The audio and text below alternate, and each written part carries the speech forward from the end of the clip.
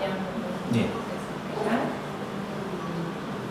Sudarlun Panitia Pengawas Pemilihan atau Panwasli Banda Aceh mengungkapkan bahwa pihaknya belum menemukan adanya indikasi praktik mani politik dari para peserta pemilu 2019 saat melakukan kampanye.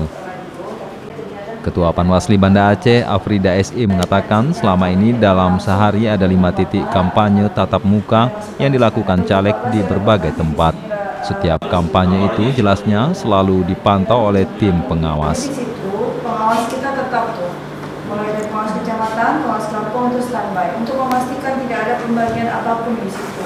Kecuali pembagian yang sifatnya sudah diatur di PKPU 23 misalnya bahan yang bisa dibagikan misalnya topi, baju, stiker, topi, kalender, eh, kalender yang, gelas, yang harganya di bawah 60 kalau yang uh, yang TSM ya istilahnya ya struktur sistematis dan masuk itu sampai dengan sekarang kita belum belum belum terbukti. Belum terbukti.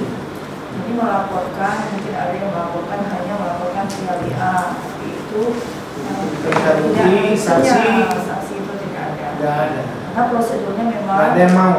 Karena prosedurnya ketika memang ada indikasi itu, silakan pelapor itu datang ke kantor Panwas untuk mengisi form. Tapi sebagai informasi awal boleh melalui uh, WA. Uh, tapi nanti harus resmi, harus resmi secara resmi dia harus datang ke kantor. Nanti ada petugas kita yang memberikan uh, arahan bagaimana prosedur pelaporan. Sampai dengan saat ini belum ada yang seperti itu.